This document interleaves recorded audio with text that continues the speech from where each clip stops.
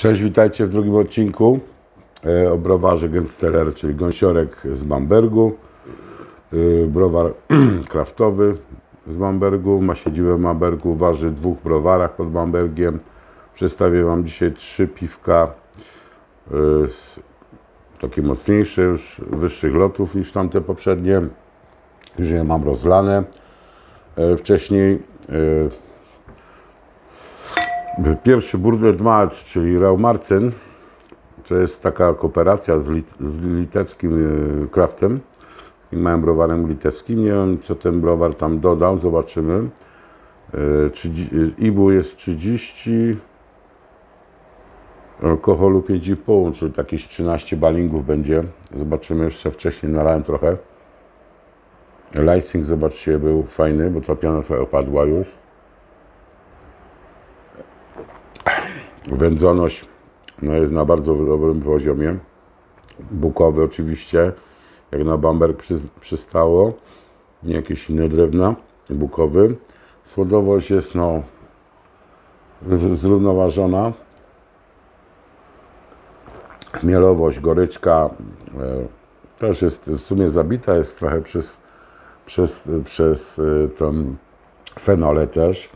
Fenole, pamiętajcie, one dodają się troszkę do ogólnej goryczki, nie dużo, ale troszkę tam parę ibu w smaku się dodają.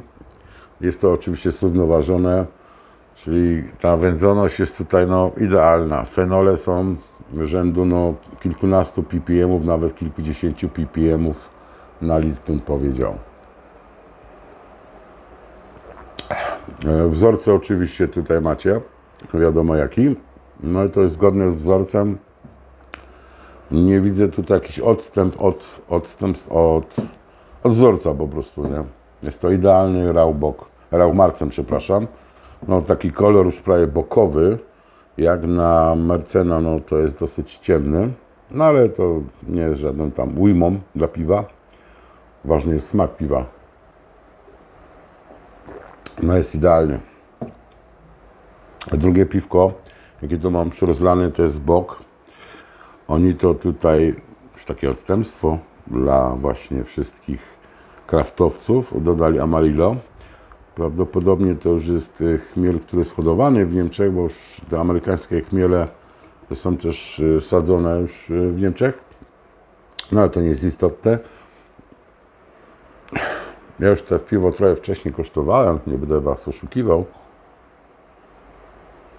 żeby się trochę nagrzało właśnie, bo chciałem zobaczyć, czy te Amarillo przy wyższej temperaturze troszkę będzie inaczej pachnieć. Ale powiem Wam, że jak jest ciepłe, ciepłe piwo, które ma amerykańskie chmiele, to inaczej to pachnie, jak one są zimne jednak. Jest różnica.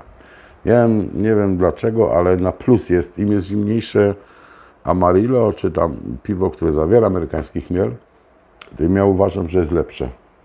Lep, lepiej pachnie, ładniej pachnie.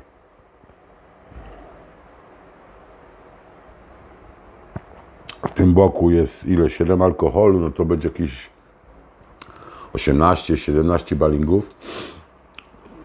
Czuć tutaj, że to jest w sumie no, ta goryczka jednak goryczka jest podana 48, no jest dosyć duża.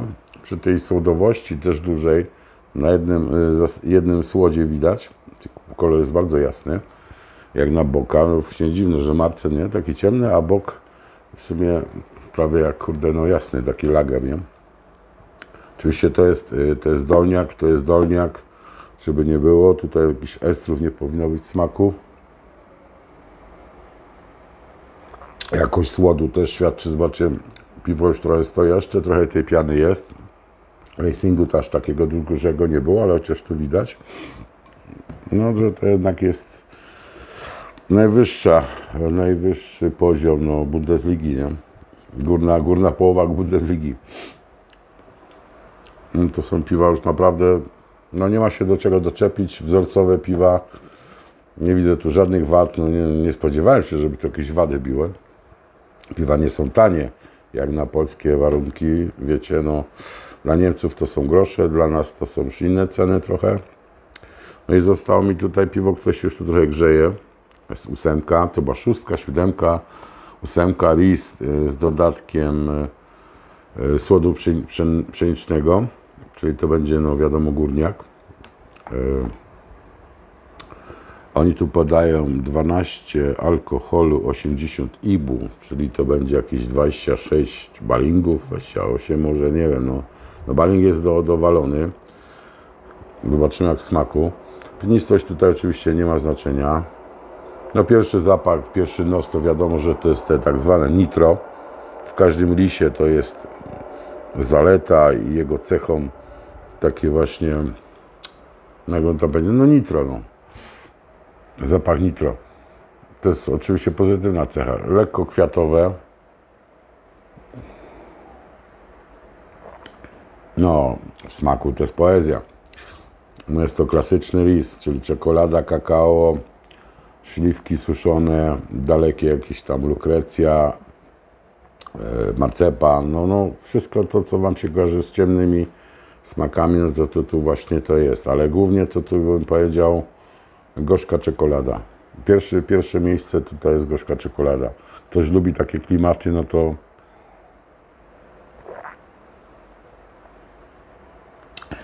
no z tyłu języka na, na takim retronosie już, czy tył języka, no jest oble, oblepianie takiego, no już takim kakao. To już jest takie typowo oblepiające kakao i zobaczcie, to jest tylko kwestia słodów. Nie ma żadnych dodatków tutaj. Tak są dobrane słody. Musiał Andreas, no naprawdę, on jest fachowcem od dolnej fermentacji. Nie jest to ten lis, e, nie ma nic wspólnego z, z Bawarią, a tym bardziej z Frankonią. Ale no tutaj od tej siódemki zaczął sobie po prostu jechać e, do ósemki. Zobaczymy, czy jakieś inne będzie piwa robił z czasem. To już tak poszedł, no, no jest to klasyka, no. Ris jest klasyką. Są, są ludzie, którzy uwielbiają te piwa. Dla mnie te piwo no, to jest tak wypić raz na parę miesięcy. No, to jest tak charakterystyczne, mocne piwo. Jego nie można pić litrami, no bo to chyba, że się alkoholikiem jest. Jest piwo do smakowania przez cały wieczór. I to nie w zimnym, tylko właśnie w ciepłym. To się właśnie paruje te piwo z jakimiś słodkimi czekoladkami, z jakimś gorzką, porządną czekoladą szwajcarską. Tego typu paring, nie? Bo to wiadomo, te piwa już dolnej fermentacji, no to bardziej paring do mięsa jakiegoś e, z grilla i tak dalej. No ale wracając jeszcze, zobaczymy sobie te, test taki przelotowy. Marcen wędzony, klasyka 100% wzorowany na wzorcu. Idealne piwo. Bok na Marilu. Bardzo fajne piwko. Takie świe, świeże takie. Ta Marillo wprowadza taki właśnie świeżość amerykańską. Taki powiew amerykańskości. No i ris, ris nie muszę Wam opisywać. Znacie polskie lisy, czy tam inne lisy, no to też, też wzorzec, też lisów trochę w życiu wypiłem. No i tutaj żadnej wady nie ma w tym lisie, jest to klasyczny lis. E, Nie ma tu jakiegoś odstępstwa od klasycznego lisa, no jest piwo super. Piwo do sączenia. Więc tym, tym odcinkiem dzisiejszym zamykam ten browar. Może kiedyś tą trójkę dostanę, zobaczymy. Tam jest ten, ten Weizen. Ogólnie browar jest super. Myślałem, że będzie bardziej taki kraftowy, odjechany, ale no jednak ten, ten właściciel i główny piwowar Andreas Gensteller e, jednak kocha klasykę bawarską, frankońską. Nie chciał za bardzo odchodzić w przód. tak delikatnie się odstawił tymi siódemką, ósemką i trójka da jeszcze tam zdaje się troszeczkę odstępstwa. ale generalnie piwa są no, wzorcowe. No, żeby u nas takie krafty były w Polsce, to ja pierdzielę, no to by było super, nie? Gdyby taki Andreas waży w Polsce, no to puh, już by mi do szczęścia nie było potrzeba. Ale tak z tego co wiem, no to polskie kraftowe browary, no to całkiem mają inne modły, inne zapotrzebowania. Piwa jakieś dziwne, takie bardzo odjechane, jakieś kwasy, no nie kwasy, to, z piwem ma mało wspólnego. Gdyby jakiś kraft w Polsce zrobił tego typu piwa, no to w sumie bardzo bym je zaczął polecać. A na razie dzięki Wam. W następnym odcinku oczywiście wracamy do Helesów. Póki z Niemiec nie przyjdą piwa, już jadą, może będą za tydzień, za dwa, zobaczymy. Ale jakby nie było następny odcinek y, tych nowych, no to zrobimy dalej ten odcinek Helesów, y, Goldów, eksportów, których mam dużo, z, oczywiście z Bawarii. Będę Wam je po kolei prezentował. Na razie trzymajcie się zdrowo. E, czekamy na mecz. No na razie 4-2 wygrali chłopaki z Portugalią. Zobaczymy, co będzie dalej. Nie? Oby było lepiej. To prost. Cheese.